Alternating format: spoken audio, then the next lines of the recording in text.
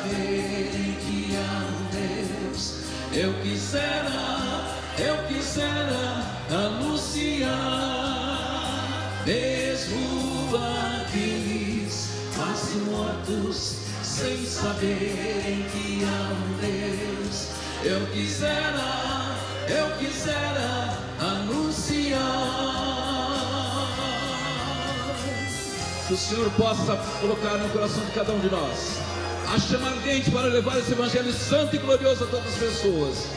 E o nome dele ser glorificado para todos sempre. Somente tu conheces os meus problemas. Somente tu, Senhor, me ajudarás. Porque sei ti vivo, tudo em mim podes fazer. Nem, Senhor, aonde me ordenares. Glória a Deus conosco, irmãos. Eu quisera ir ao campo missionário. Eu quisera, Senhor, ir a proclamar.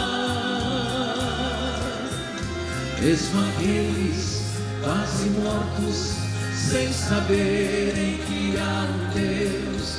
Eu quisera, eu quisera anunciar. Eu quisera ir ao campo missionário.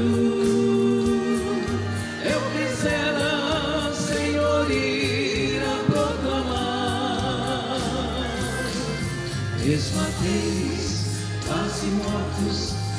Sem saberem que há um Deus. Eu quisera, eu quisera anunciar. Mesmo aqueles quase mortos, sem saberem que há um Deus. Eu quisera, eu quisera anunciar. Oh, glória a Jesus. Oh, louvado seja o santo nome do Senhor. Sempre há alguém para ouvir esse evangelho glorioso. E você é um missionário em qualquer lugar que você estiver. Principalmente com o seu testemunho. Amém. Nós vamos cantar um hino que diz que tem cheiro de milagre no recinto. Se você veio para receber o teu milagre, saia daqui confiante que você vai receber. Nós já podemos sentir o cheiro de milagre neste lugar.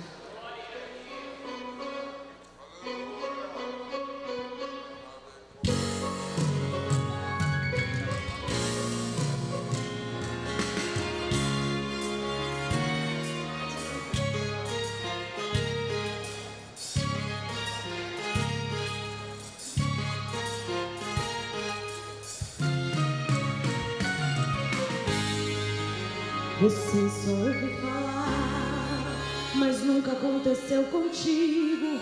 Milagre aconteceu com muitos, mas nunca aconteceu contigo. O mundo já desenganou, a família te desprezou, mas o Deus de milagres está presente aqui.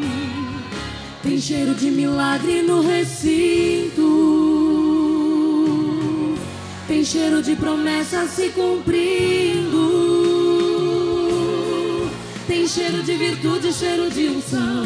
Tem cheiro de vitória para cada irmão. Tem cheiro de milagre no recinto. Milagre não se explica, como vento.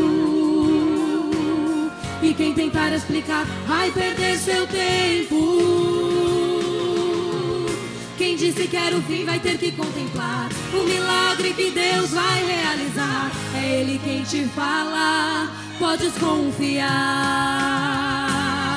Tem milagre acontecendo lá na sua casa, tem milagre acontecendo na sua família.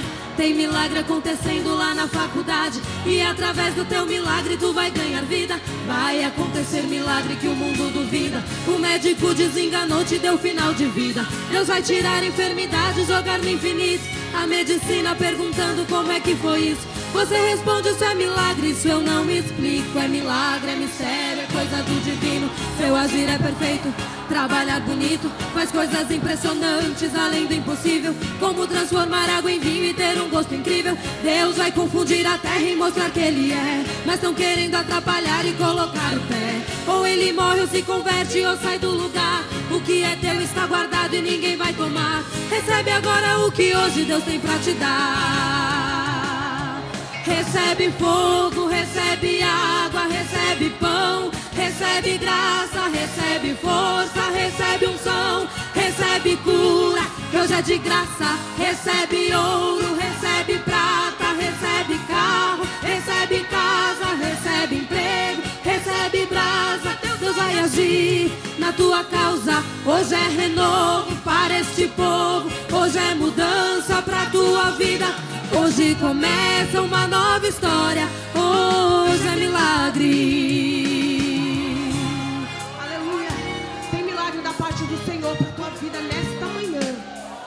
você veio aqui para adorar e engrandecer o nome dele, creia que ele está trabalhando na tua causa. Aleluia. Tem milagre acontecendo lá na sua casa. Tem milagre acontecendo na sua família. Tem milagre acontecendo lá na faculdade. E através do teu milagre tu vai ganhar vida.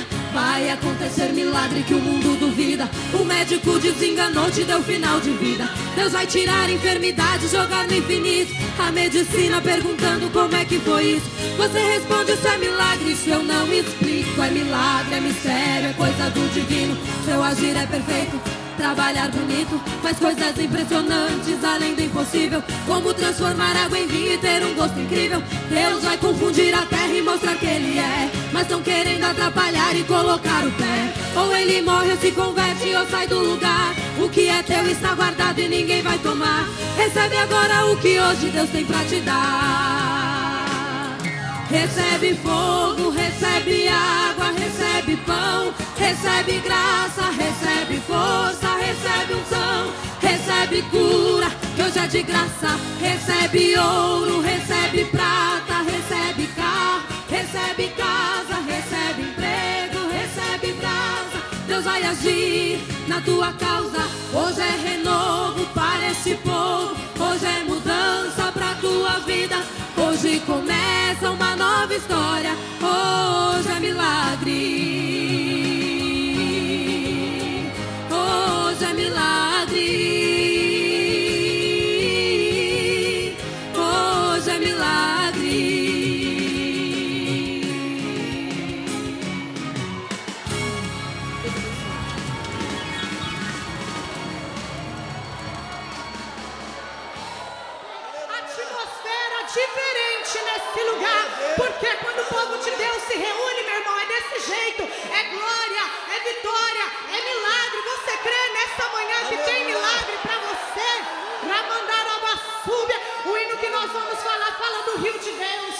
Eu não sei se você já percebeu, mas desde o começo do culto, o Senhor está falando: tem água para você nessa noite, tem água para te limpar, tem água para te purificar, tem água para te lavar. Mergulha no rio de Deus, irmão, e você vai ver o que vai acontecer na tua vida nesse lugar. Aleluia, vamos louvar ao nome do Senhor. Calamandarabasúbia.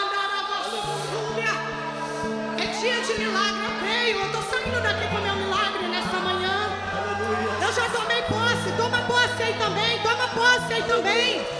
Aleluia! Aleluia!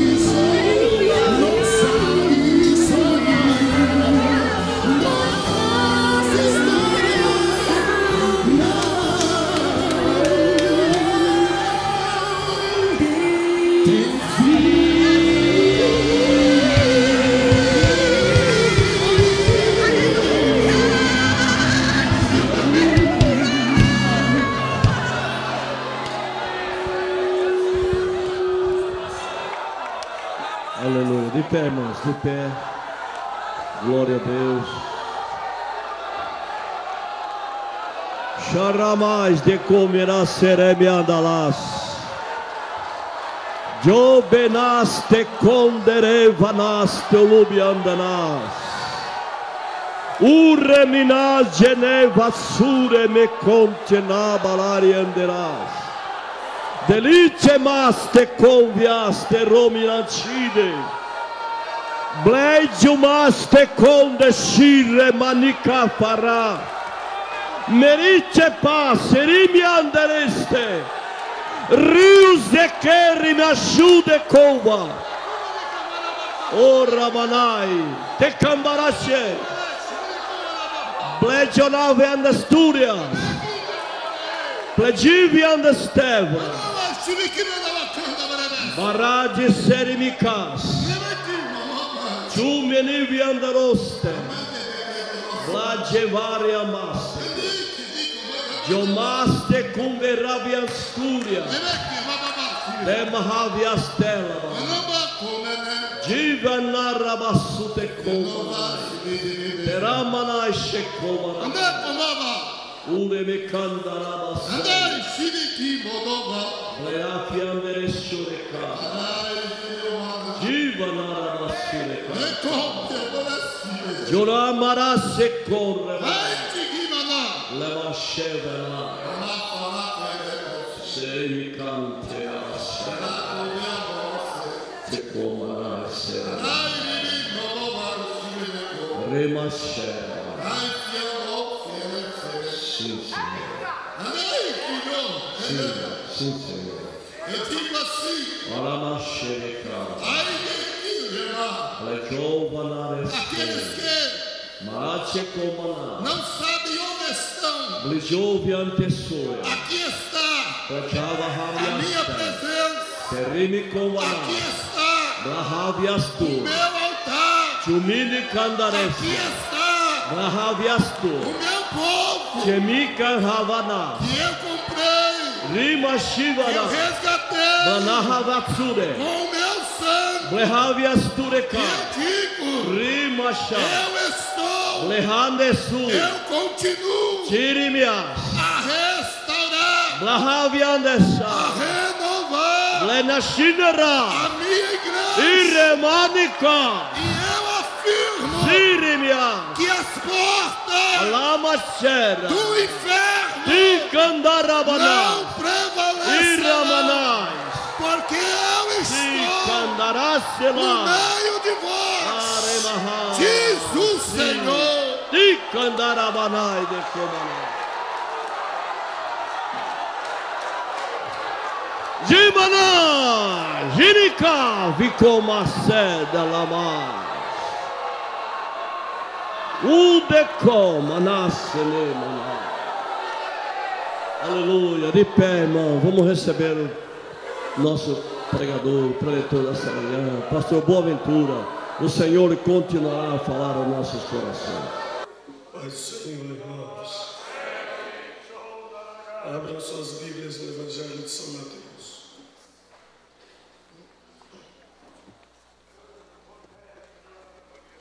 Capítulo de número 10.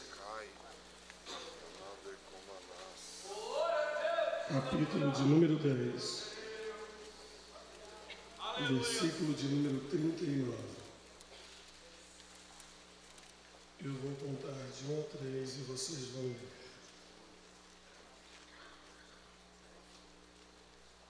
Quantos encontraram, digam glória a Jesus.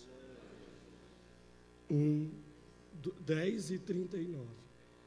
1, 2, 3. Quem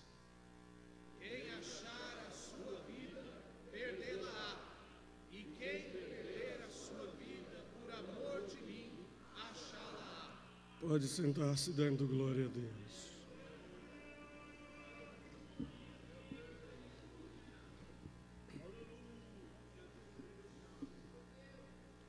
Como vocês percebem, minha voz foi embora. Eu estou pregando desde quarta-feira e ainda tenho que pregar hoje à noite. Então eu vou. Tenham paciência comigo. Eu quero agradecer a diretoria. Aqui está o Madel. O Madel ou Emadel? O que, que eu tenho que agradecer? o Madel. Então vou ler aqui, é muito nome, mas eu faço questão de ler, tá? Sem óculos é pior ainda. Pastor Elias Camilo, Pastor Maurílio Gonçalves. Thank you. God bless me. Os líderes. ok. Líderes setoriais, Pastor Uri, este camarada bonito. Eu estou dando uma força para ele, tá ok? Não, são detalhes. Pastor Uri, Pastor Daniel Salustiano está aqui. É você? Que Deus me lo bendiga. Ah, é, líderes regionais, Pastor Alexandre Anjos, Diácono Gessé Souza, Pastor Dorivaldo, Pastor Daniel Afetal. Eu nunca vi ninguém com esse nome, Afetal. Assim como você não conhece nenhum Boaventura. É, muito obrigado, tá? É, cooperador Jefferson, Eric, Regência, está aqui Claudinha Martins. Quem é? Como você é fera. Deus te abençoe. Secretário Luciano Diácono Egon. Quem são? É o da pastilha? Cadê ele? Eu sou meio cegueta, rapaz. Deus me recontra ultra super bendiga sua vida. Isso se fala no Chile, tá? É bênção abundante. Deus te abençoe. Irmãos, eu quero trazer uma palavra de reflexão, ainda mais tratando-se de missões, ainda mais tratando-se de um tema sumamente importante. Eu quero pedir que, por favor, o som está perfeito. Rapaz. Como é seu nome do som? Lúcio, rapaz, Deus te abençoe, viu? O retorno está ótimo. Não tire esse retorno, pelo amor de Deus. É, eu quero trazer uma palavra de reflexão para os nossos corações, porque missões é conscientização. Não adianta eu tratar o emocional de vocês na questão missionária sem que vocês entendam a questão missionária. Conte comigo, por favor. Um,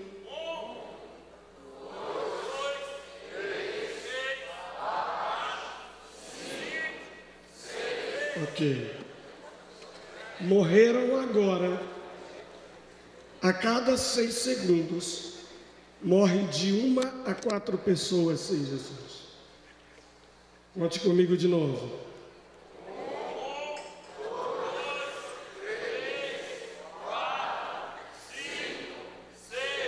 Morreram oito pessoas sem Jesus, desde a primeira contagem até agora. Uma vez mais.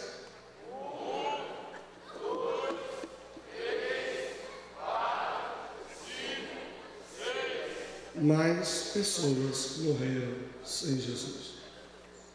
Pergunte para a pessoa que está do seu lado: o que, é que você está fazendo?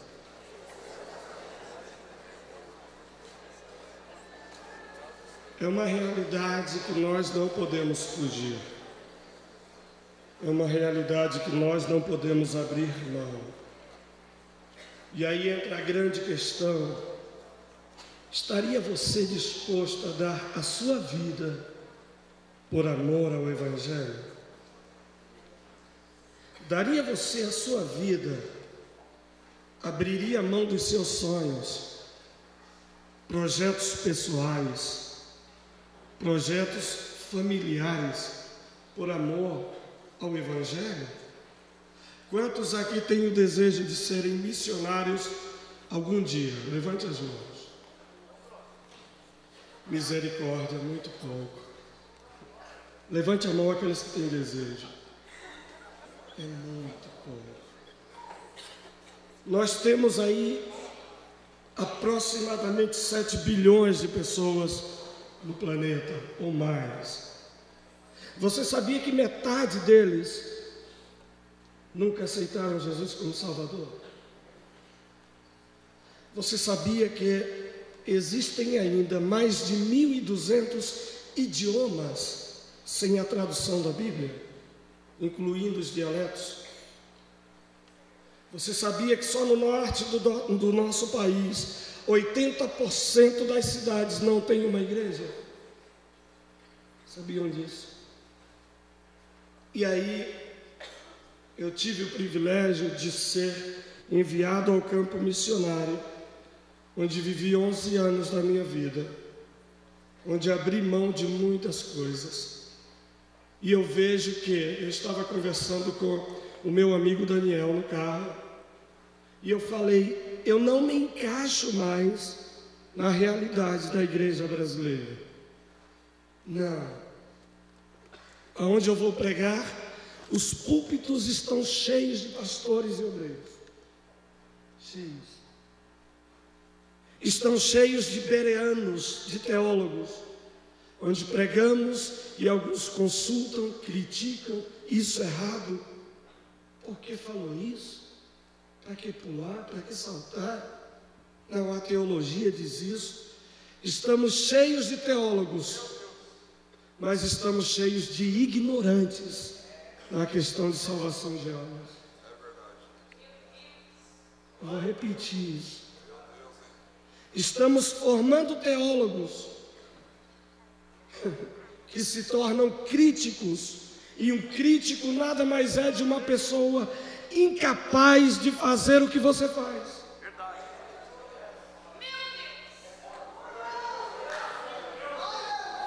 Sabia? Um crítico é isso, é um incapaz, é um José Ninguém, filho do coisa nenhuma. E aí os camaradas sentados no púlpito e não ganha uma alma durante o ano. Não tem a capacidade espiritual de evangelizar um mendigo, porque dá nojo. Não tem capacidade de evangelizar um homossexual, porque sem vergonha, pederasta. Eu sou pastor, eu sou obreiro. E eu repito, eu não me encaixo mais nessa realidade. E eu estou orando a Deus, me leva de volta para o campo missionário. Porque enquanto eu estou aqui, eu me lembro das 27 crianças que eu cuidava no Chile. Filhos de narcotraficantes, todos eles. Os pais na cadeia.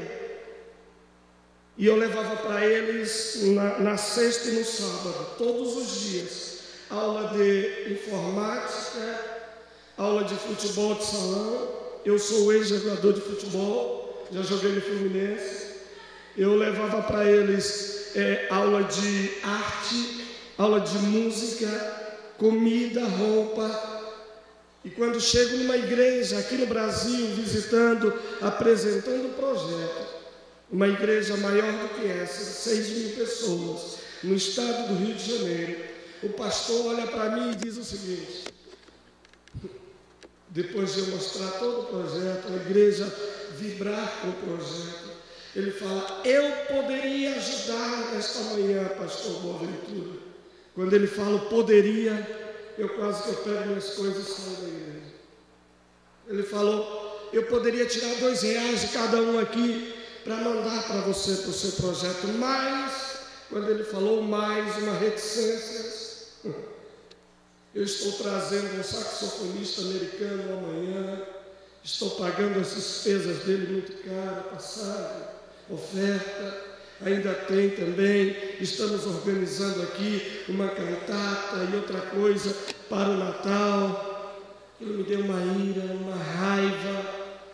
Eu sou capoeirista. Se eu pego ele lá fora, meu irmão não ia prestar. Não grave isso não, tá? Pelo amor de Deus. Pelo amor de Deus me deu uma frustração. Saí chorando. E eu tive que abandonar 27 crianças. E hoje eu não sei como estão, porque não tinha condições. E eu falo isso, ele não é uma cota. Não sei como estão, filhos de pais traficantes, mães que não estavam em casa quando estavam consumindo droga. Uma vez eu tirei um menino de 10 anos do braço de uma mãe que estava cheirando cocaína. Levei para minha casa, alimentei ele por uma semana, porque ele não tinha para onde ir. E a igreja brasileira, ele está assistindo tudo de camarote. Nós, obreiros, estamos viciados nisso aqui. É incrível isso.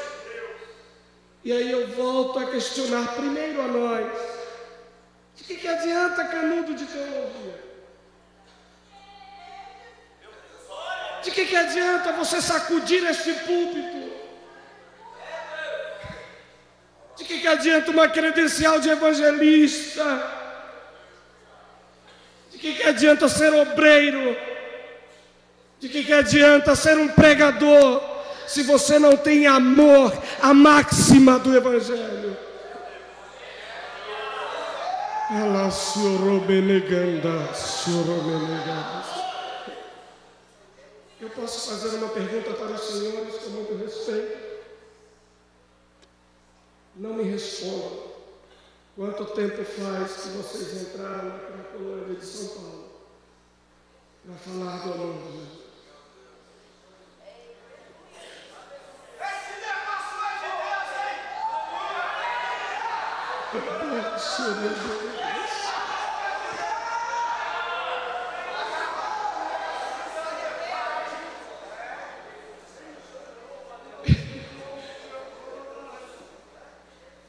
Não existe. Não. A Bíblia diz que Deus chamou os doze e todos os doze Deus colocou em terreno para ganhar alma. Deus selecionou, você faz isso, aquilo, outro, não. Deus chamou a todos eles e disse: portanto, ide, pregai o Evangelho a toda criatura.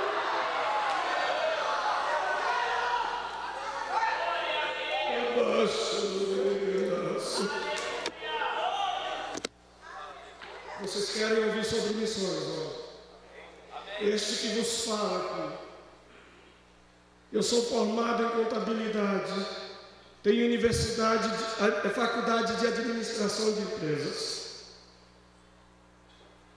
No ano de, mil, de 1999, concursado em Angra dos Reis, trabalhando na área de educação, um dos diretores de uma escola da área administrativa. Estou em um congresso como este, em uma manhã, em um sábado à noite, músico, tocando ali piano. Estava pregando o pastor Anísio do Nascimento. Não foi nenhum profeta, não foi ninguém, e a voz do Espírito Santo ecoou no meu ouvido. Te lembras do ano de 1986? Eu não lembrava nada era solteiro em 86. Eu vou trazer a tua memória.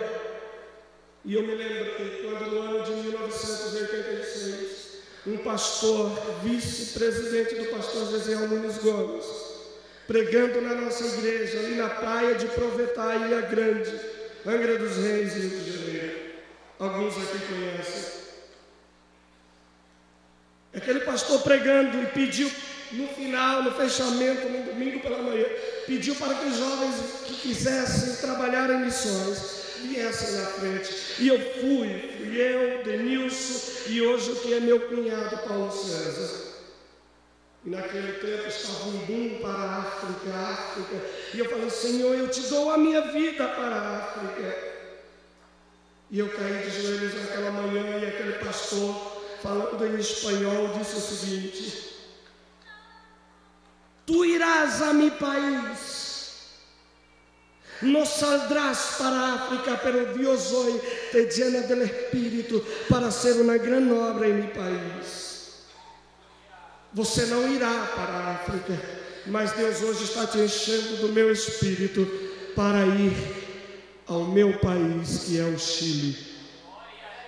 Passaram-se os anos de 86 a a 99, eu esqueci tudo isso. E Deus, naquele sábado à noite, disse: Chegou o tempo de você ir para o Chile. Concursado, salário alto, tinha dado a primeira prestação da minha casa própria. Qual esposa que não quer ter a sua casa própria? Pai de quatro filhos, o meu menor na época tinha sete anos de idade. Eu falei, Senhor, como eu vou falar isso para minha mulher? Ela vai me pegar de pau, vai me bater, Senhor. E bate mesmo, quebrar.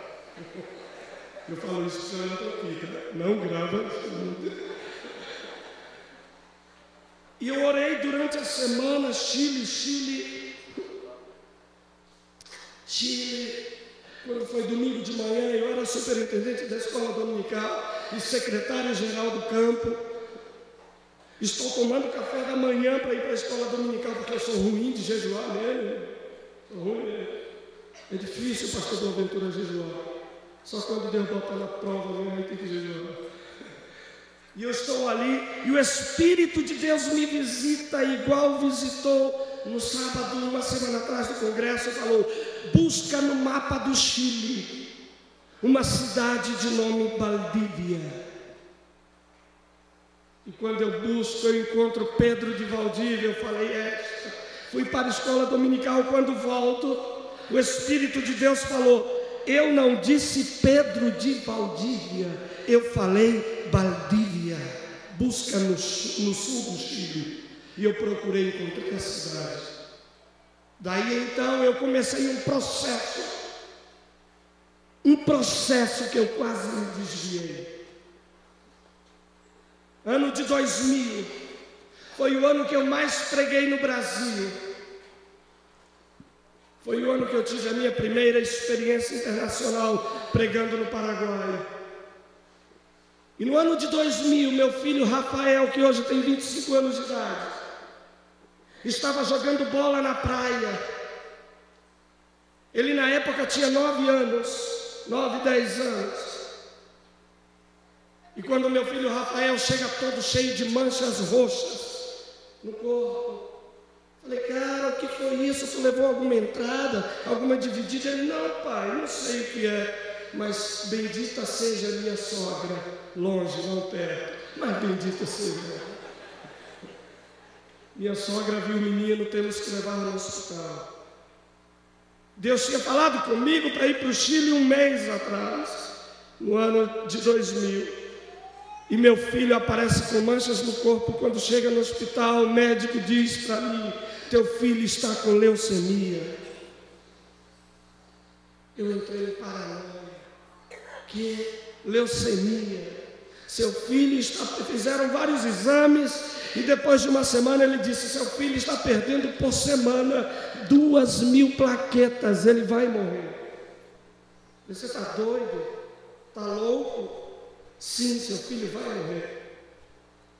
E eu entrei em um processo de angústia entre eu e Deus. Eu e Deus.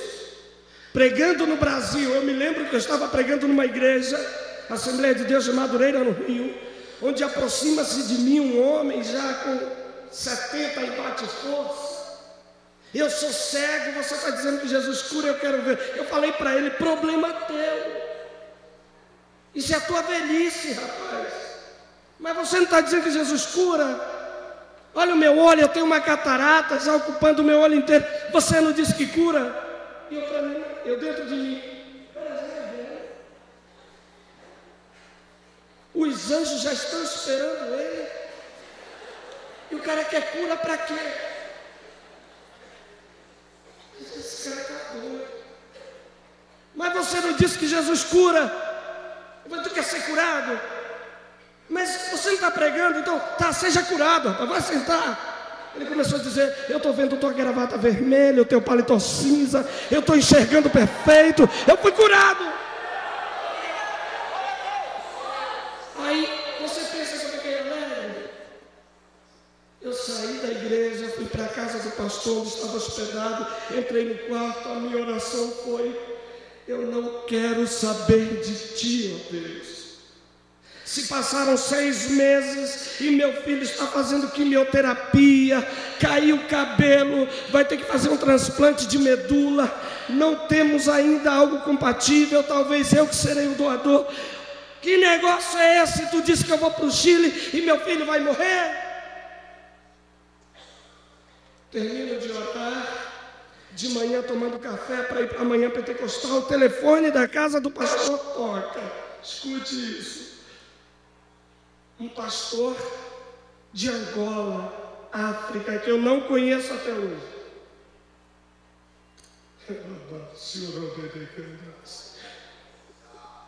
Está hospedado aí o pastor Boaventura Monteiro. Pastor, é para você. Você deu o telefone da minha casa? Eu não. É um pastor de Angola que quer falar com você. O que de Angola? Deve ser convite. Deus está dizendo para você: eu não te conheço. Fecha a tua boca. Adora o meu nome. A tua família está nas minhas mãos.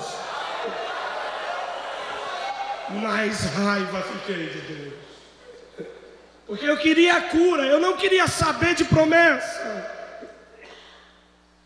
Termino de pregar, voltando para Angra dos Reis. Isso foi em Campo Grande.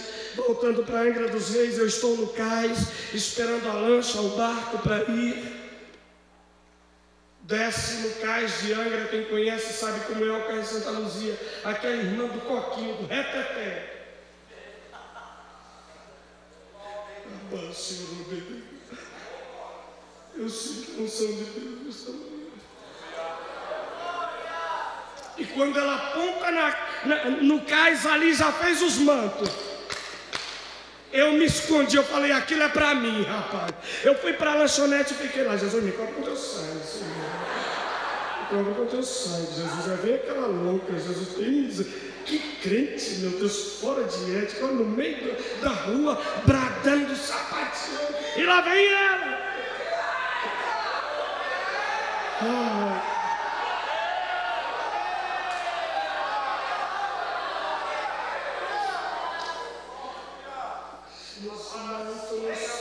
nos planos, no meio de todo mundo, homem, Jesus, fecha a tua boca, adora o meu nome, porque a tua família está nas minhas mãos. Ai, ai, ai.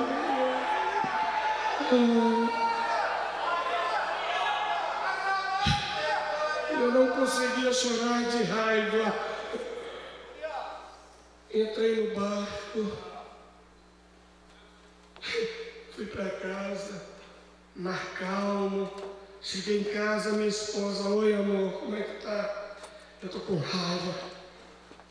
Raiva de que você não estava pregando? Como é que Deus manda eu calar a boca com meu filho com leucemia? Ela, Júnior, Júnior, fecha a tua boca, meu filho. Até você, amor. Passa uma semana, chega meu sogro que tem 1,90m de altura. Olha o tamanho desta coisa. 1,90m de um homem ora até hoje. Ele é pastor jubilado. Foi missionário na Bolívia por dois anos. Foi secretário do pastor Gisel Nunes Gomes. E meu sogro chega de madrugada, no domingo de manhã, depois de orar de madrugada. Meu genro, ele é todo assim, né? intelectual. Eu quero falar com você, rapaz, mas você é cabeça dura. Eu não te entendo. O que você quer falar? Falei assim, meu sogro, o que você quer falar? Deus me deu uma palavra para você nesta manhã, nesta madrugada. Já veio a, a síndrome do fecha a tua boca. Cara é alto, tem uma mão desse tamanho, apontou aquele dedão na minha cara. Eu sou meio abusado. Precisa botar o dedo na minha cara. Escute aqui o que Deus mandou te falar, rapaz. Fecha a tua boca. Adora o meu nome. Porque se meu neto morrer, é culpa tua. Jesus tem misericórdia.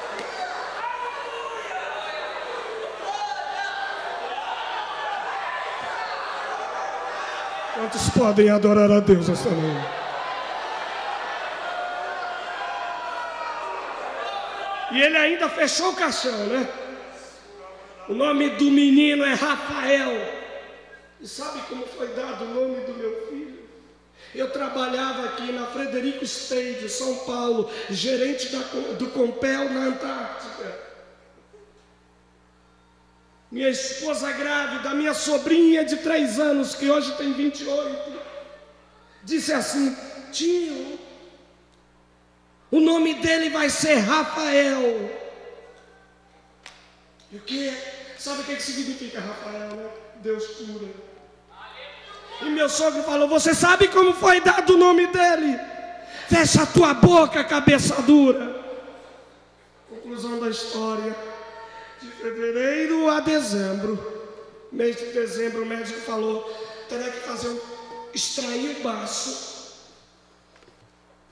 fazer o transplante de medula. E teu filho tem 80% de chances de continuar vivo. Ele pode morrer na mesa de cirurgia.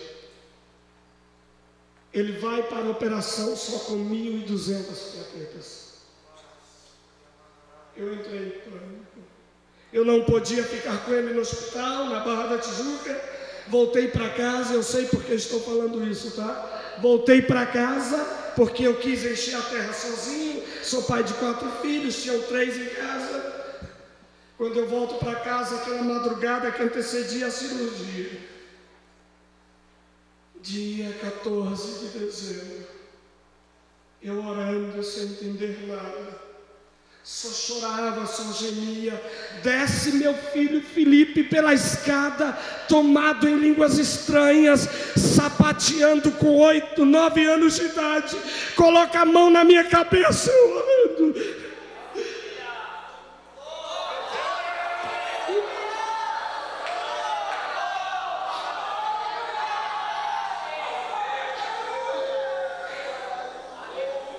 Amém. Meu filho de nove anos, seca tuas lágrimas que eu estou entrando com providência naquela cirurgia.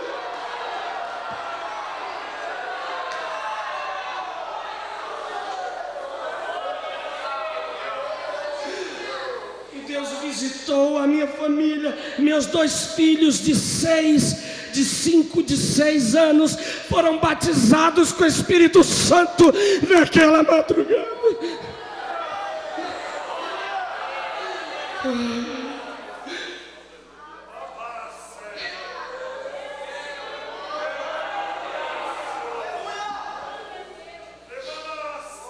filho vai para a mesa de cirurgia.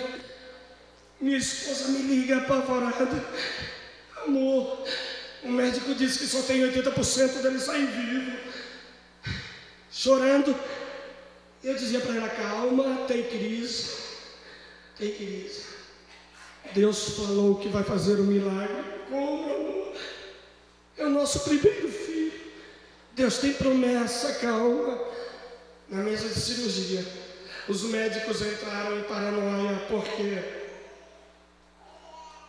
eu creio que tem pessoas que trabalham aqui na área de saúde, sim ou não?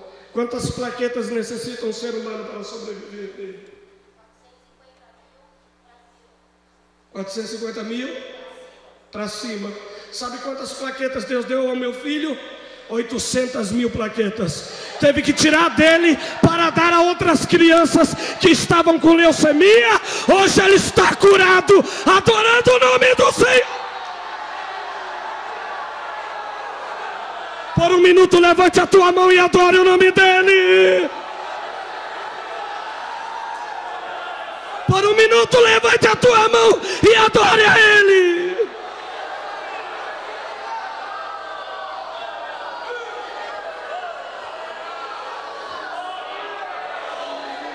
Ai, ai, ai, ai.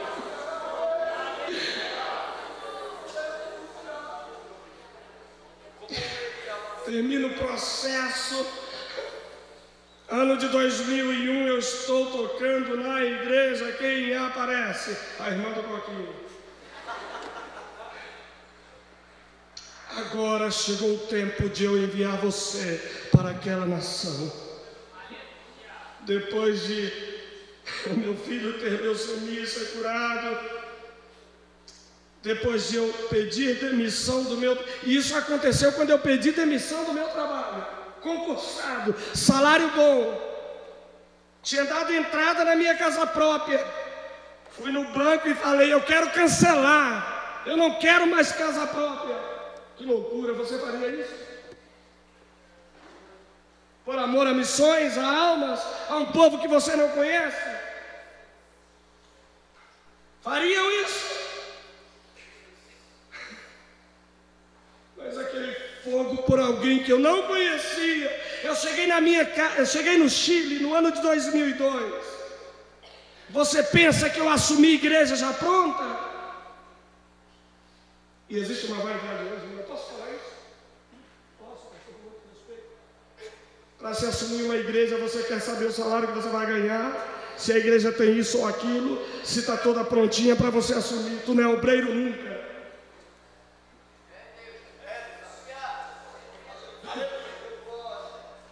Estreitar, viu? Eu fui para um país onde não conhecia ninguém.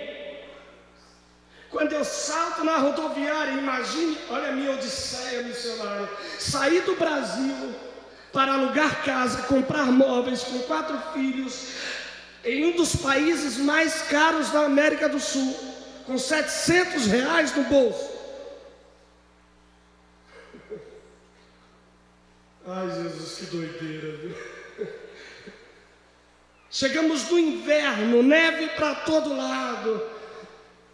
Saímos de uma ilha com sol de 48 graus, praia paradisíaca, para o sul do Chile, uma cidade chamada Lota, onde chove, ai meu Deus do céu, vento de 80 quilômetros. Na primeira semana de aula, meu filho Mateus, que hoje tem 21 anos, foi para a sala de aula, ele voltou tirando os cabelos, pai, eu não entendo nada, pai. Você trouxe a gente para aqui para quê, pai? Chamaram minha esposa para uma reunião de pais na escola e quando ela chega, não entendia nada, só eu falava espanhol e eu não podia acompanhá-los sempre. Minha esposa chegou chorando, amor, por que você fez isso comigo? Porque você aniquilou, os nossos sonhos pessoais. Esse meu filho Mateus entrou, entrou em depressão no Chile por um ano. Ele chegava da escola, ia para debaixo da cama. O choro dele era o seguinte: Eu tenho saudade da minha avó, pai. Eu tenho saudade dos meus amigos. Eu odeio este país. Sabe quem que tirou meu filho da depressão? Um cachorro. Todo missionário tem que ter um cachorro.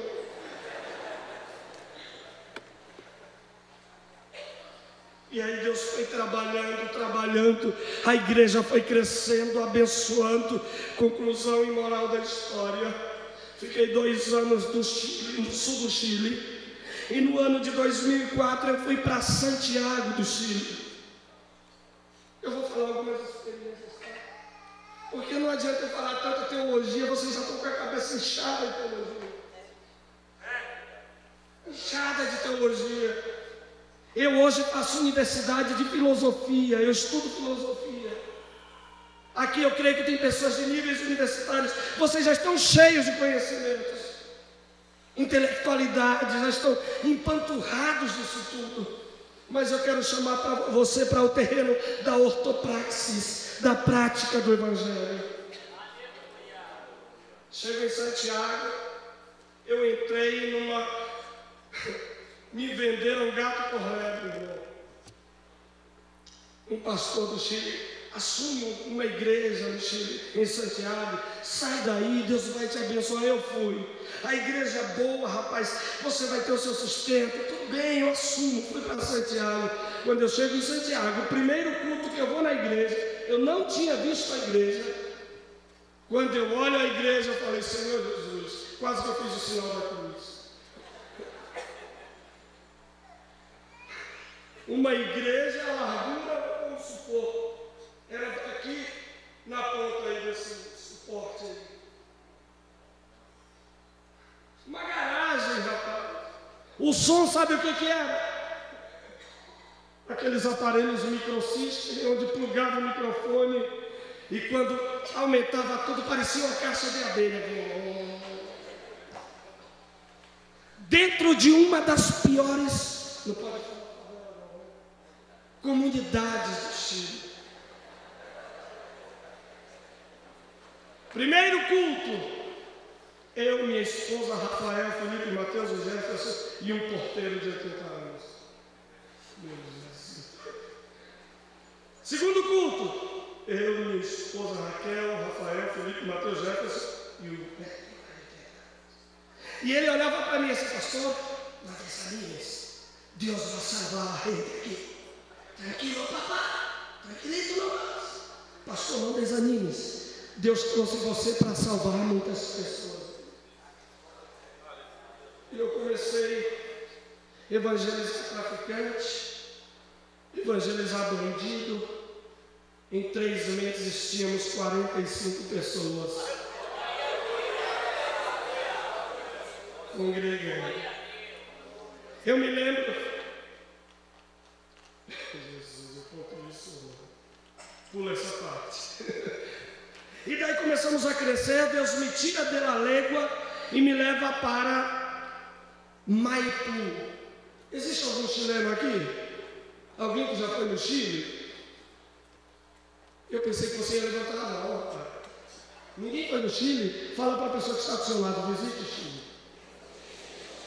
É um dos países mais bonitos do mundo. Já foi? É lindo. Precioso. Já foi, pastor Paulo? Teve em Santiago, pastor? É bendição. Gostou do Chile? pastor? É lindo. Santiago é impecável. É uma metrópole incrível. E quando eu chego em Maipu, começo um trabalho na minha casa e tive uma das piores experiências do meu ministério. Fazendo uma reunião de oração na casa de uma irmã. Minha esposa foi e saiu sete da manhã. E quando ela está com as irmãs lá, eu estou em casa, tranquilo, descansando. Oito da manhã eu ligo a televisão, vou assistir televisão. Não tínhamos cama ainda, porque a igreja que me enviou com dois meses me abandonou no campo. Dois meses me abandonou no campo. E já era ano de dois, eu cheguei em 2002, já era ano de 2005. Três anos sem receber salário. Em um país onde a educação é paga, não é municipalizada, e sim subvencionada, 50% os pais, 50% o governo. Eu não sei como sobrevivi lá 11 anos, mas Deus sabe.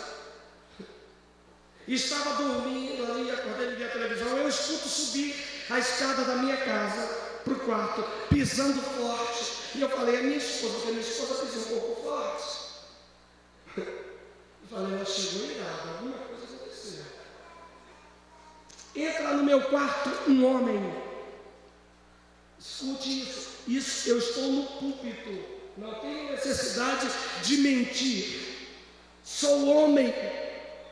Honro isso aqui. Estou falando a verdade. Um homem entra no meu quarto. Aí já baixou, baixou um som do velho homem, né? O que está louco? Está louco, homem? Entra em empieza assim. Não te conozco a ti. O que está acontecendo, rapaz? Entrar na minha casa sem pedir licença, eu não te conheço. Se transformou em um demônio. Muitos de vocês nunca tiveram essa experiência. E eu charlatei para renovar a sua vida. Foi uma luta de 40 minutos. E ele dizia para mim o seguinte: Você veio para este país, mas eu vou destruir o teu casamento. Eu vou matar os teus filhos. E você vai voltar envergonhado para o teu país. Ele, depois de 40 minutos, saiu, quebrou a janela da minha casa inteira.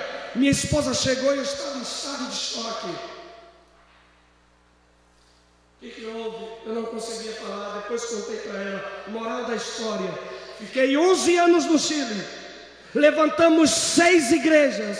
Construí um templo nesse lugar onde começamos o trabalho que Satanás me afrontou. Em oito meses construímos o templo. A nossa igreja tinha 200 membros para a honra e glória do nome de Jesus.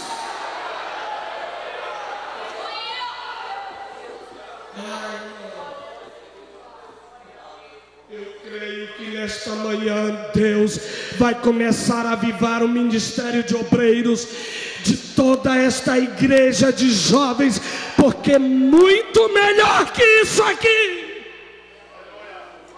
é você ter autoridade para destruir as obras do diabo aí fora. Eu me lembro. Posso contar pra vocês? Posso? Eu me lembro, ano de 2004. Você sabe quem quer fazer missões sem recurso? Quem é esse? É esse, né, cantor? Diego, É, é o Tac que estava no choque. Hein, Diego, você sabe o que é isso? Eu vejo você falando isso, eu vivi isso, vivo até hoje. Ano de 2004 foi um dos períodos mais difíceis para mim no Chile. Preste atenção. Dois anos sem receber salário, entramos numa crise profunda. O Chile, a educação em Santiago, o aluno entra às 8 da manhã às 5 da tarde. Para aluno estrangeiro, ele só come se o nativo faltar. Ou então se o pai pagar a alimentação. E eu não tinha condições. Quando meus quatro filhos iam para a escola, eu venho aqui, dobro os joelhos. Senhor, não deixa faltar o alimento para os meus filhos. E até então nunca tinha faltado, mas naquele dia faltou. E justo um dia que não tínhamos nada em casa, cinco da tarde, chega meu filho Mateus, pálido. Eu recebo na porta porque eu sou um pai muito carinhoso, até hoje. E quando eu recebo Mateus, ele olha para mim e diz o seguinte: ele já, já só falava espanhol, não falava mais português, e ele disse o seguinte: Papito, tenho muita hambre, mi pierna tembla, por favor, papito, algo para que eu coma. Eu tenho muita fome, minhas pernas estão tremendo. Faz algo para comer, pai. E não tínhamos nada em casa. Nada. Literalmente nada. Só água, açúcar. Nada. Um pacote de macarrão que me dava ódio de macarrão. Eu olhava o macarrão e eles estavam fazendo. Conseguimos reanimar o garoto. Quando reanima, ele com os olhos fora de órbita, segurou na minha mão, papito, por favor, tenho hambre. Minha esposa saiu chorando crise. Eu segurei e falei, Senhor, por favor, faça um milagre. Ele apagou, meu filho. Durante aquelas cinco, já era cinco e meia, quase seis horas da tarde, até o outro dia ele não acordou. Demos água com açúcar e ele apagou. E naquela madrugada minha esposa entrou, irmãos, de 10 horas da noite, orando, orando, orando. Eu odeio missões, eu odeio este país. Você é o culpado, eu estou orando, Deus vai te pegar. O Senhor tem misericórdia. Eu vou ligar para o meu pai para buscar a gente, para mandar dinheiro. Você é louco. E quando foi três e meia da madrugada, Deus me toma em profecia para ela. E a profecia vinha, eu engolia, Senhor, você está de brincadeira? A mulher está furiosa, orando, e eu profetizar isso ainda. Profetiza. Oh Deus, e vem, vem. Aí eu soltei. Eu sou meio canela de fogo. Sou meio dos mantos dos clavos, velhos.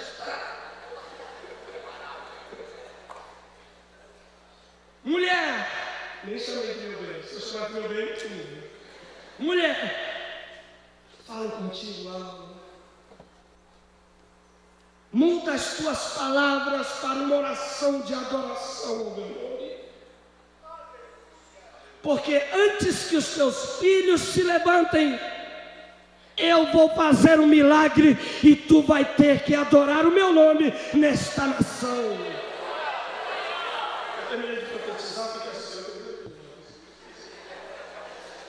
E ela me olhava, da carne, meu pai. Sete e meia da manhã, na minha porta.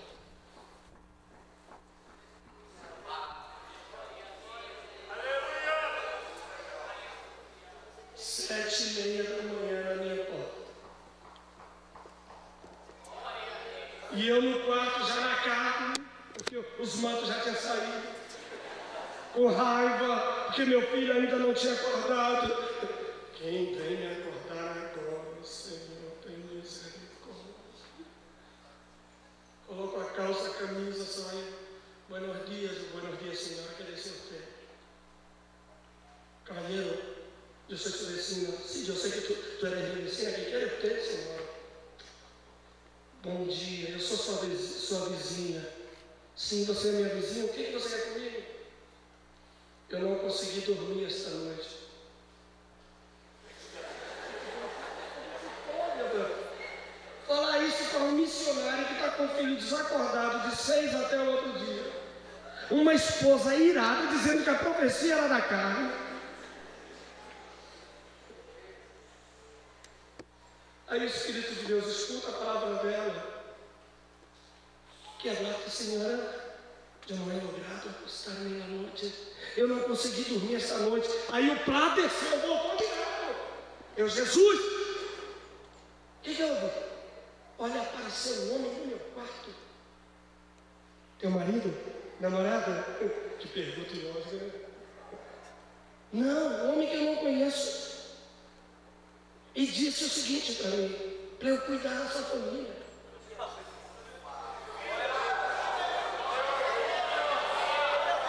Escute isso. Escute, escute, escute. Eu sou dona de um restaurante. Eu.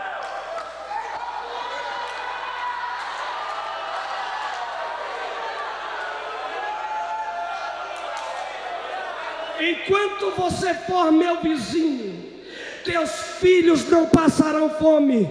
Eu vou trazer café da manhã, vou trazer lanche 10 horas, vou trazer almoço, lanche 3 horas, janta e lanche das 10 da noite, porque Ele mandou cuidar de você.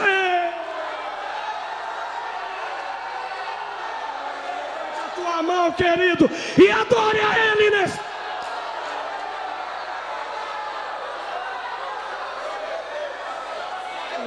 Senhor Robere Gandácia.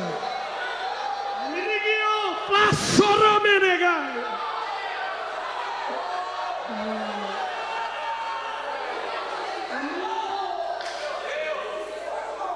Pode passar louco. Nós pegamos a dinâmica de em casa, no Chile, nos primeiros anos, só falar espanhol para aprimorar. O que te passa? Está louco porque está saltando como um tonto. Entendeu?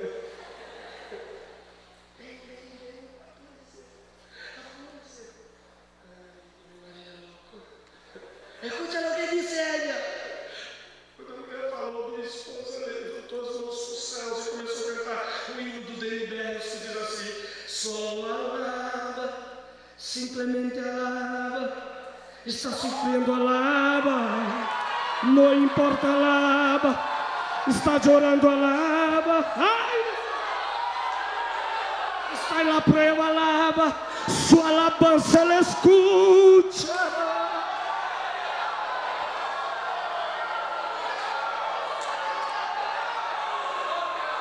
Dios va adelante. Me perdoe porque eu estou muito emocionado nesta manhã. Eu sei que o meu redentor vive. Eu conheço meu Deus cara a cara.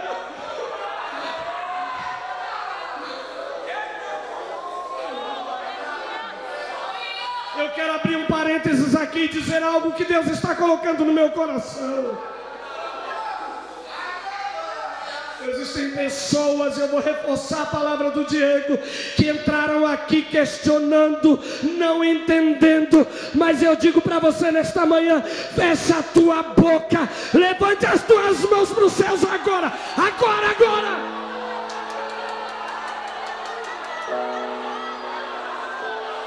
Solo alaba, simplesmente alaba, está sufriendo alaba, no importa alaba, la prueba alaba, su alabanza le escuchará, una vez más solo alaba.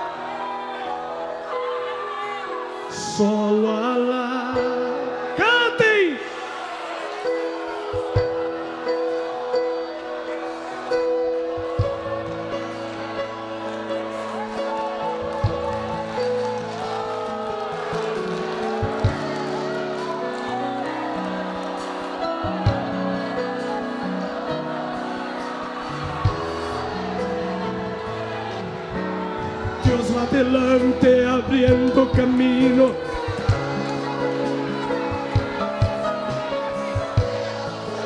Va contigo luchar.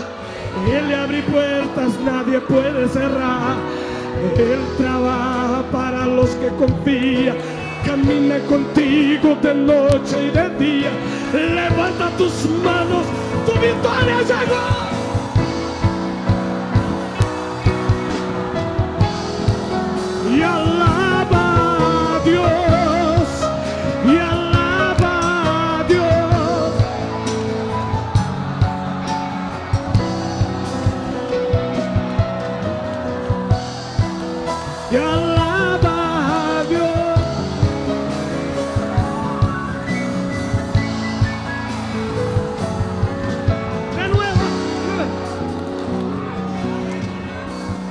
Adelante abriendo caminos.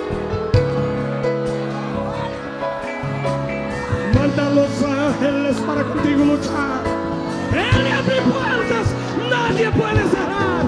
Él trabaja para los que confían. Camina contigo. Levanta tus manos, tu victoria llegó.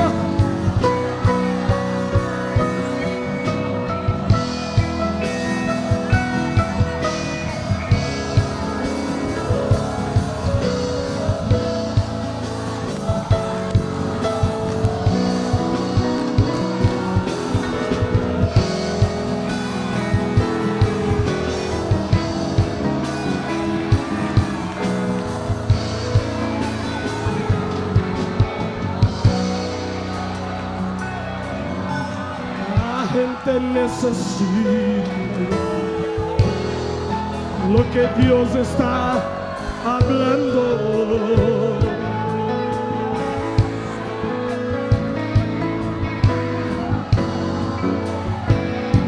En silencio es porque está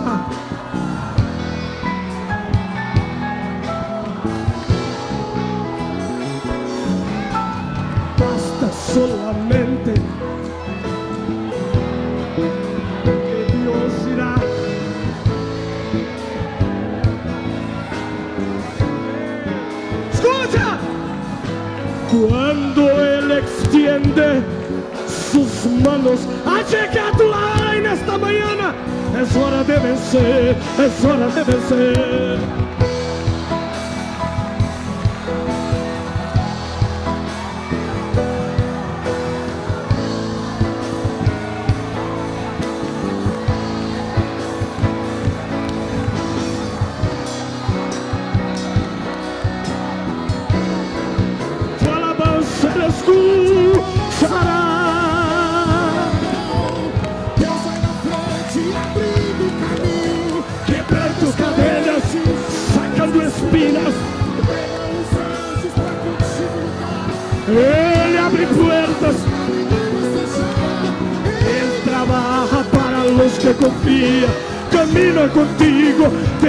Día.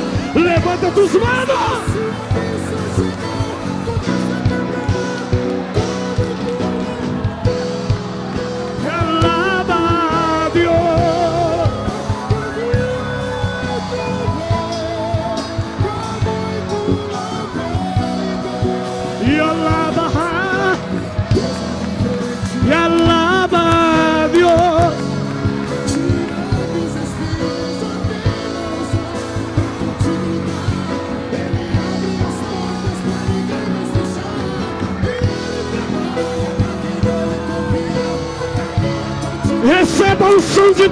Manhã.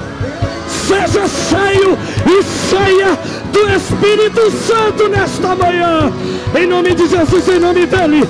Em nome dele, olha Deus te tocando. Aí agora. Em nome de Jesus, em nome dele. Em nome dele. Para a glória dele.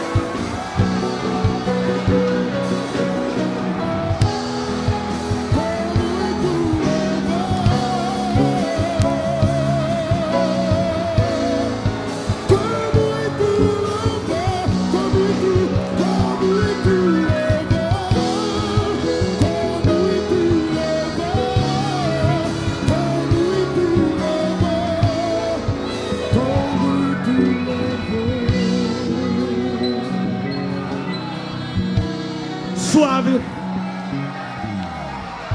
Puede continuar, pero suavecito. Yo creo en esta mañana que Dios. Ay, ay.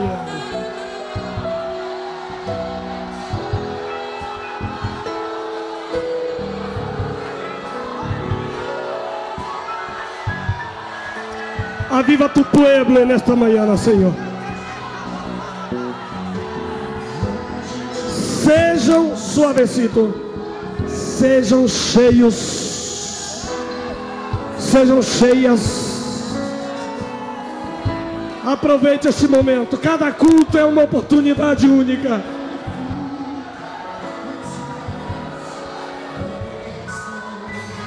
Será que eu posso ouvir a adoração da igreja suavecito? Só a igreja cantando, só a igreja.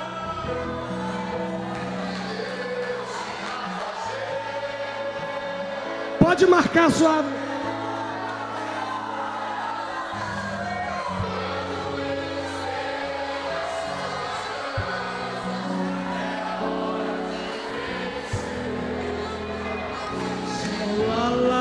Suave. Simplesmente alá.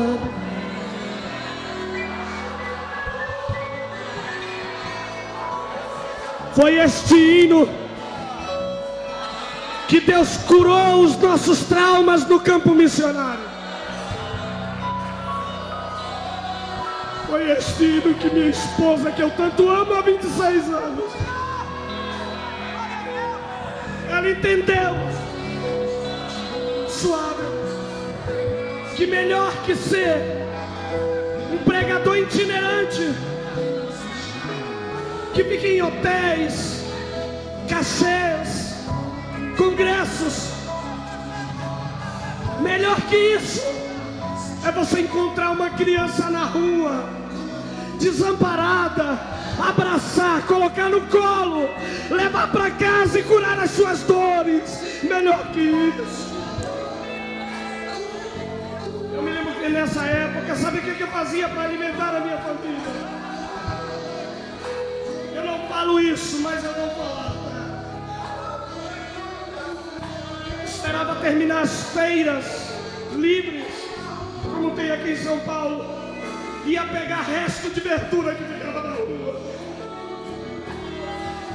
E naquele dia eu falava para o Senhor: é uma vergonha eu, como representante do teu evangelho, neste país, passar por isso.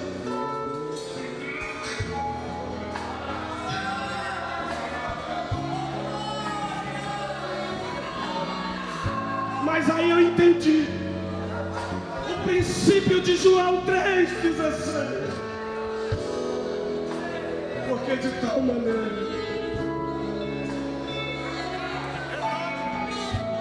amou Deus ao mundo que deu seu único filho. O que é um desmaio de um filho do missionário frente à morte de Jesus? Nada. o que é ficar comendo café da manhã durante seis meses, café da manhã com macarrão e sal, água e sal, almoço com macarrão, água e sal, café da noite com macarrão, água e sal. Eu vejo macarrão hoje, me dá ódio de macarrão. Não me convidem na sua casa para comer macarrão. Mas o que é isso, frente?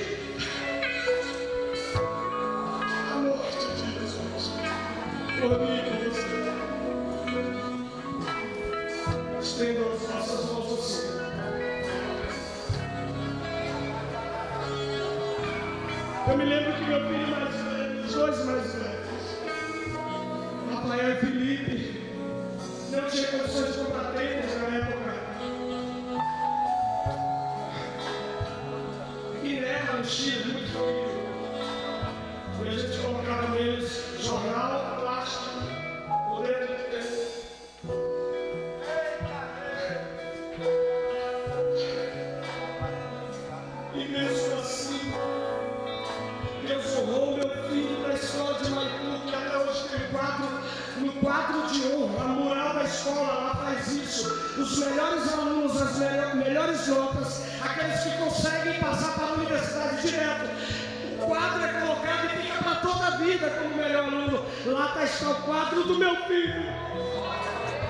I just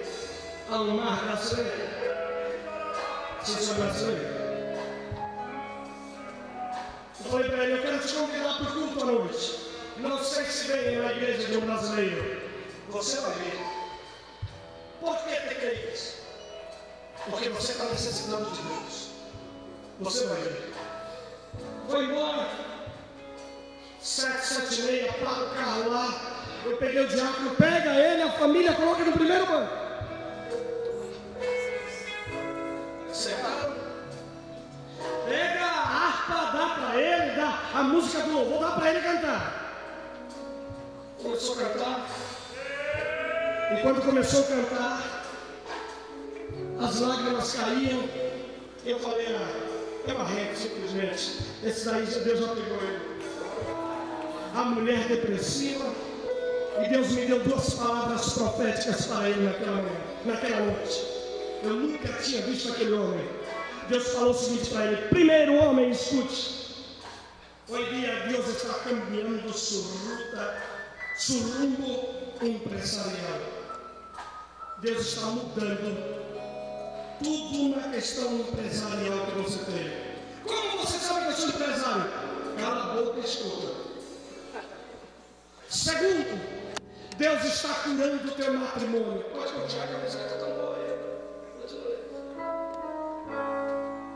Deus está curando o teu e para que você saiba que é Deus, nesta semana, a tua empresa que está falindo na bancarrota, Deus vai enviar um negócio e você vai pagar todas as suas dívidas e o nome dele será glorificado. Segunda-feira, duas da tarde, pastor, estou mandando meu motorista te buscar. Quem foi? Eu preciso falar com você sério. Falei, esse cara vai me matar. Não aconteceu nada. Tá o carro, entrei, chego lá, ele está chorando. Ele é empresa- empresário até hoje no ramo de joias, de ouro. Fechou a empresa. Pastor, eu, eu falei, pastor, eu devia X. Em real deveria ser assim mais ou menos 300 a 500 mil reais. Eu tenho uma empresa, eu começando no ramo do ouro. E você falou que Deus ia fazer um milagre. Eu falei, e aí? Pastor, eu fiz um negócio agora de 5 milhões.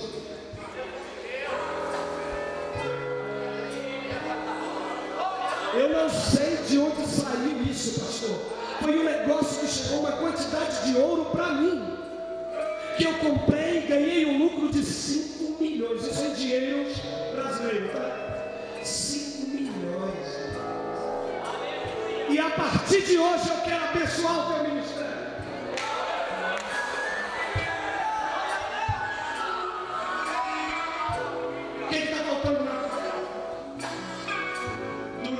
Me pediste que eu sou tímido. Vou mandar minha esposa buscar a tua esposa. Eu tenho três carros. Fica com isso. Sabe qual foi o carro?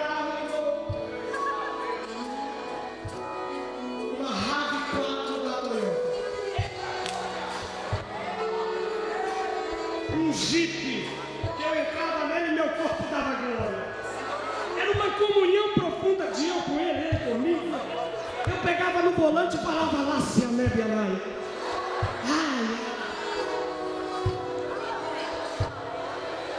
Deus cuida. Ele não é homem para que minta, nem filho do homem para que se arrependa. Deus cuida.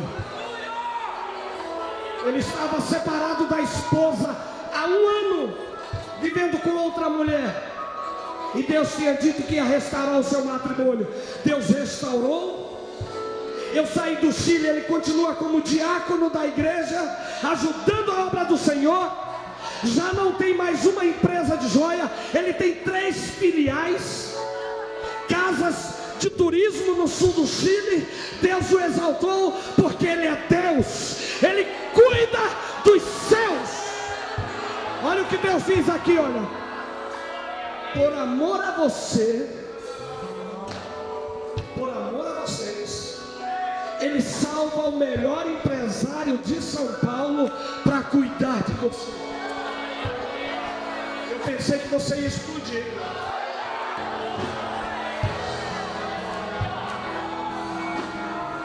Coloque-se de pés, adorando. Aí.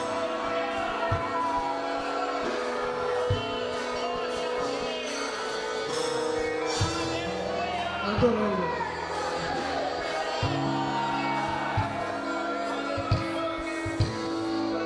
Poderia contar muitas experiências,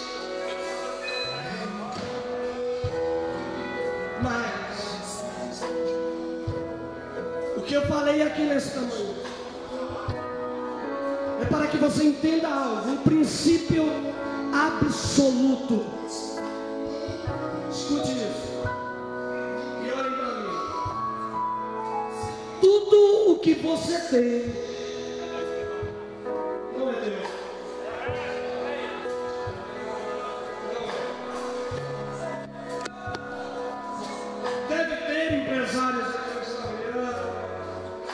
profissionais sucesso. Coloque tudo isso ó, aos pés da cruz. Porque no dia que Deus quiser te tirar de lá, te mandar para você viver, Ele vai fazer. Querendo você ou não. Se Deus tem um chamado contigo,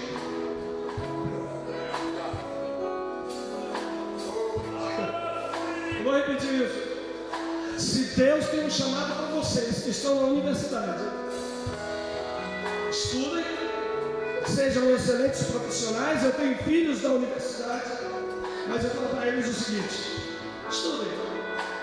Mas no dia que Deus falar assim, eu quero você, não coloque o coração de vocês em coisas terrenas.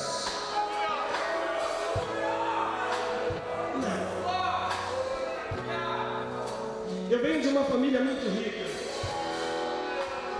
Meu pai é empresário na Bahia. Homem rico. Mas eu nunca pedi um centavo ao meu pai até hoje. Não é por orgulho.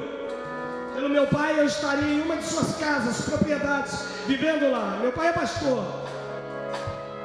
Mas eu falo para ele, o senhor não entende o meu chamado. O Senhor atropiou seu chamado ministerial por coisas humanas. Meu pai tem 80 anos, trabalha todo dia, viaja 120 quilômetros. Um grande pregador no estado da Bahia que morreu seu ministério por causa das coisas materiais. Ele poderia muito bem conciliar. Nesta manhã eu quero chamar aqui na frente. Jovens, pode deixar aí, pode vir pelo lado querem invadir nações com o poder do Evangelho.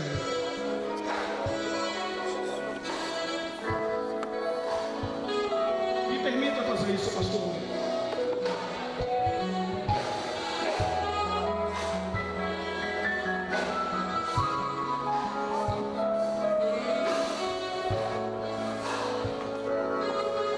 Se aqui encher e você quiser ajoelhar-se aí onde você está,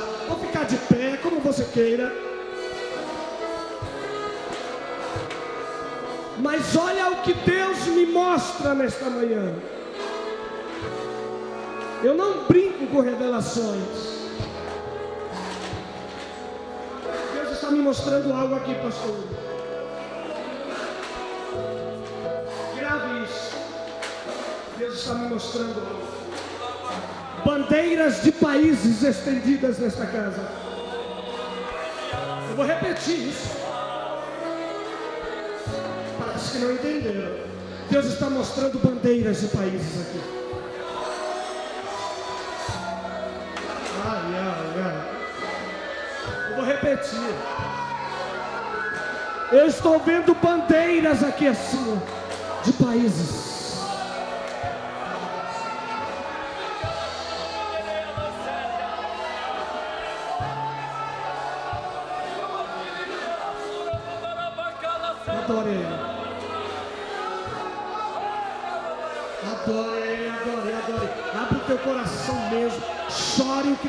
Você quiser chorar. Ore o que você quiser orar.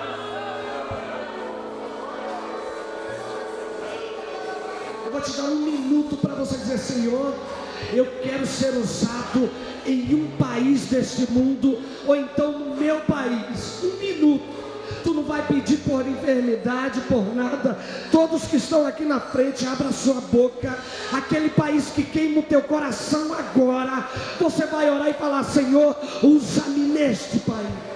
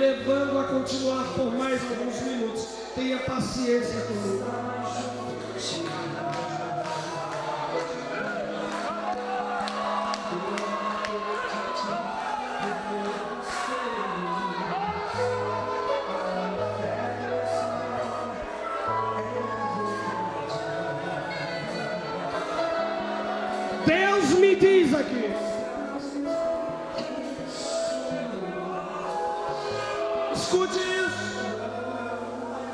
Existem pessoas aqui que ainda nesta semana terão sonhos com países.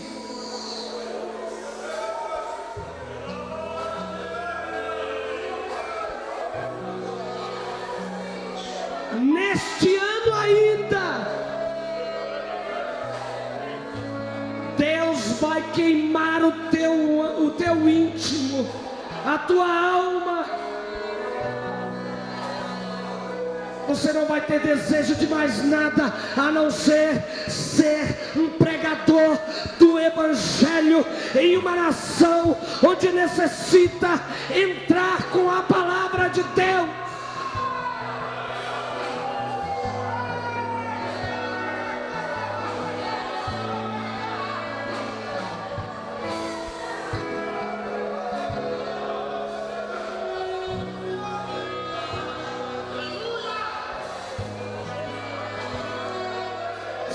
Cheios do Espírito Santo agora, em nome de Jesus. Eu vou repetir: sejam cheios, sejam cheias, sejam cheios.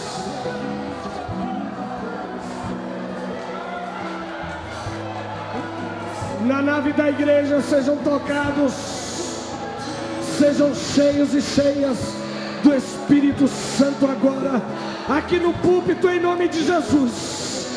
Irmãos, vamos dedicar agora a melhor adoração ao Senhor. Abra sua boca, em nome de Jesus, em nome dEle.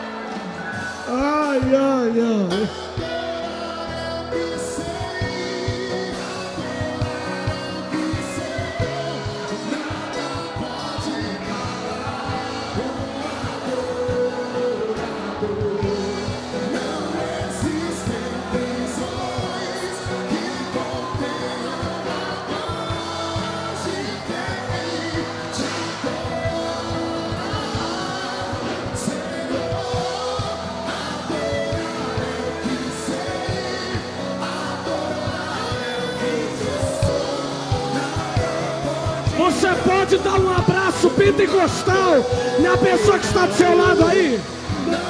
Abraço de crente, irmão, de crente, de canela de fogo mesmo.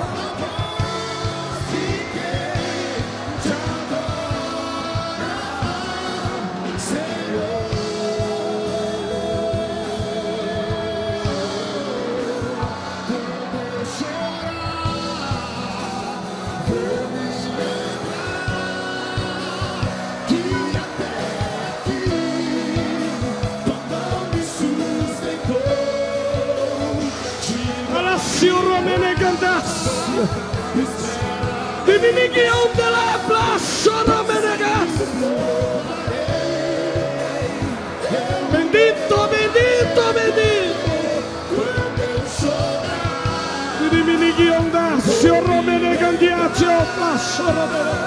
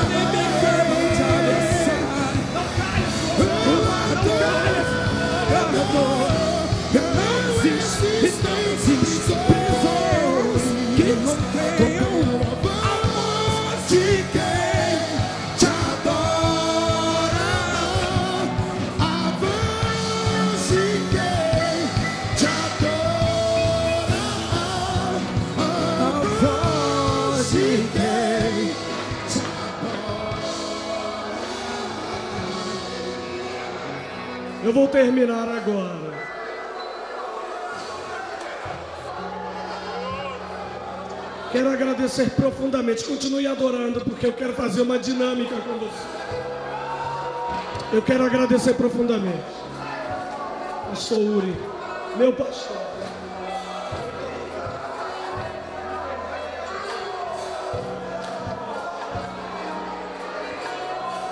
Eu agradeço aos obreiros.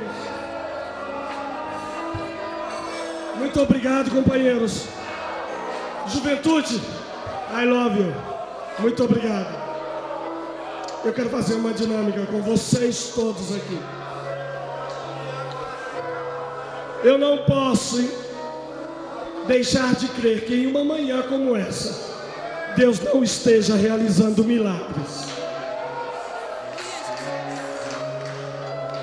Eu creio que Deus está realizando milagres agora.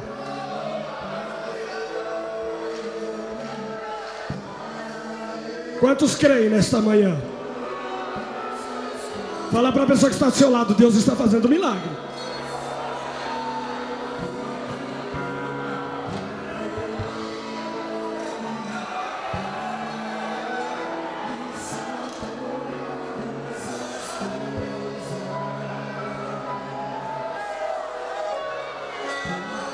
Isso é coisa de pregador meio doido, sabe?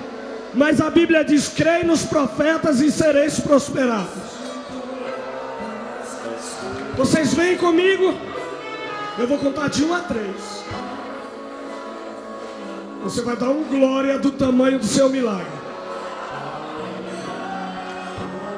Isso é doideira, tá? Você vai dar um glória do tamanho do milagre que você quer levar. E creia que Deus está curando nesta manhã.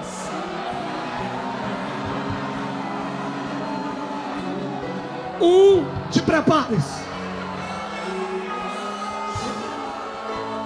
Dois, e vocês entram com tudo. Dois e meio. Três, agora!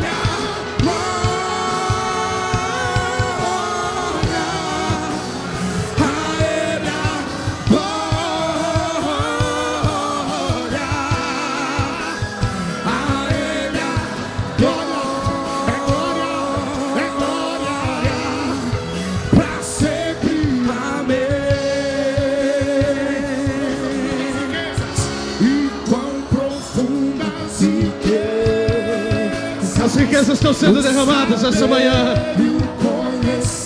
Está sendo derramado. Esse culto foi feito para você que deixou a tua cama, que deixou o teu conforto, que venceu o sono. Você foi escolhido por Deus essa manhã.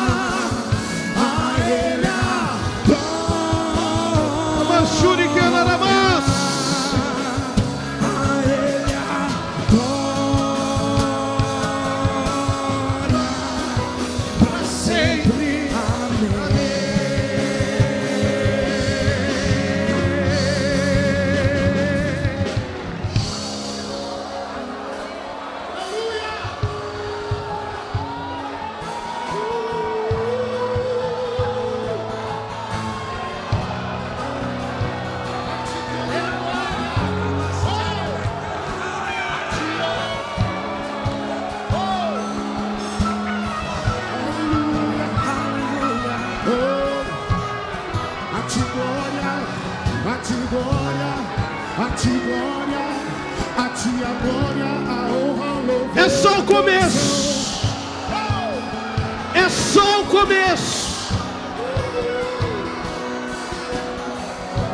O Emadeu não termina hoje à noite, não. Ele continua na tua vida, é só o começo. O Senhor está te renovando para abalar nações.